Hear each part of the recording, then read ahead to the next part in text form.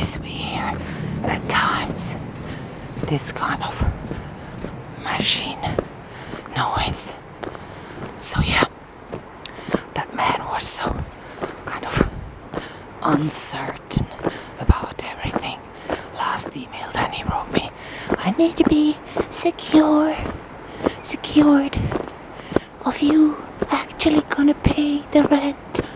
Minka, have you read my emails? Offered you 100 Swiss francs every month.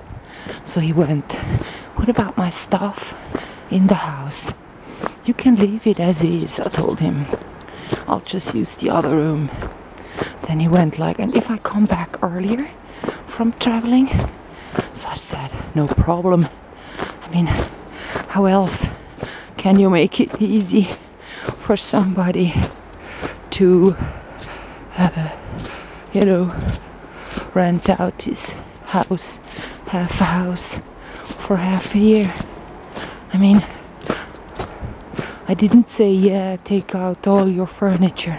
And I didn't say, well, uh, you know,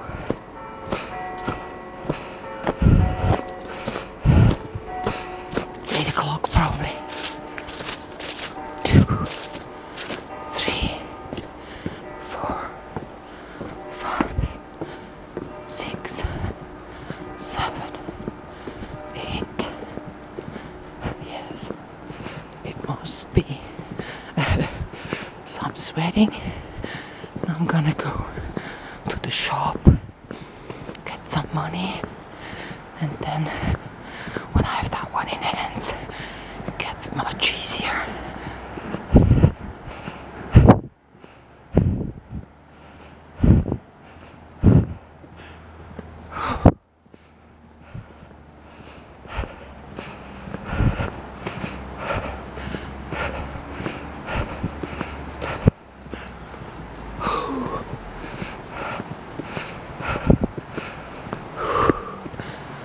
know, I've no money on me.